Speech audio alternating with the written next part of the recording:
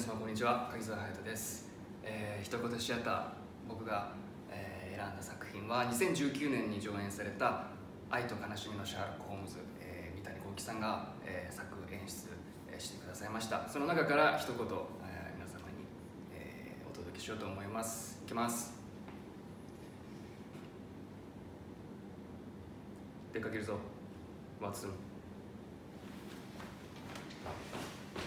はい、ありがとうございました。えー皆様、えー本当に大変な時期ではございますが、えー前向きに、えー共に頑張っていきましょう。それでは、